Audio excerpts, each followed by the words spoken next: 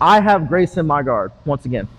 My hands are up, her hands are on my stomach. Grace starts to stand up, right? As Grace stands up, I lose my grip on my legs or I allow her to stand up. After she stands up, I immediately bring my hands, all five fingers, and I cup the back of her ankles, right? I don't want to grab not really high. I want to try to grab right down as low as I can. After which, I let my feet fall to her hips and I make a V, right? Like I'm standing at attention or I'm a penguin. Once I'm here, I extend my feet, Grace will fall back. And as she falls back, I bring my feet up and I come up on top.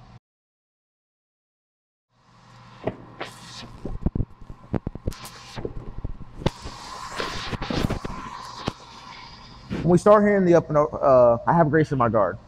I'm gonna bring my hands to the inside, all five fingers, and I'm gonna fan out, bring your hands to my hips.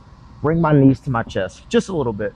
After I come here, I'm gonna have to open my guard and I'm going to do a little bitty shrimp out to the side. And then if I can, I'll grab on the wrist, Grace's wrist. I'll do a big sit up and I'll generally wind up on my elbow. And this is never enough to sweep anybody. So I scoop my butt out a little bit and I post up to my hand. This hand's gonna tuck inside like I'm touching my own stomach. I generally tell people not try to grab the arm because it's really weird. And I'm gonna bring my hips up to her chest and then turn all the way over and then I'll wind up on top.